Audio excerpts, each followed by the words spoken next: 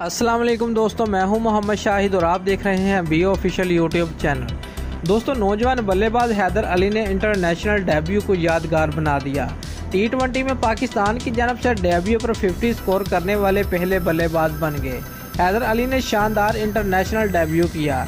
हैदर अली ने 28 गेंदों पर 50 बनाई और 33 गेंदों पर चौवन रन की इनिंग्स खेली।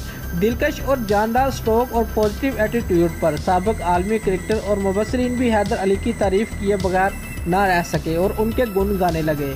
जबकि कमेंटेटर कहने लगा, हैदर अली पहले कहाँ थे? सबक ऑस्ट्रेलियन क्रिकेटर और कोच टाइम मोडी ने कहा कि, मैंने हैदर अली को under 19 World Cup South Africa में देखा था। ये बात कन्फर्म है कि वो एक ख़ास टैलेंट है। खुशी है कि उसे आज अपनी सलाहियतें दिखाने का मौका मिला। दोस्तों, इंग्लैंड के सबक कप्तान माइकल वान ने लिखा कि पाकिस्तान को हैदर अली की सूरत में एक सीरियस प्लेयर मिल गया। पाकिस्तान के सबक कोच मिकी आर्थर, जिन्होंने लिखा कि हैदर अली की सूरत में बेहतरीन टैलेंट सामने आ गया। दोस्तों, शुएब अख्तर ने हैदर अली की तारीफ़ करते हुए कहा कि क्या कमाल का डेब्यू किया है। हैदर अली ने मज़बूत, पुरअतमाद और शफाफ स्ट्रोक्स और रवैया भी ज़बरदस्त। दोस्तों, अगर आपको हमारी ये वीडियो अच्छी लगी है तो लाइक और कमेंट ज़रूर करें और हमारे चैनल को सब्सक्राइब करना मत भूलिए। शुक्रिया।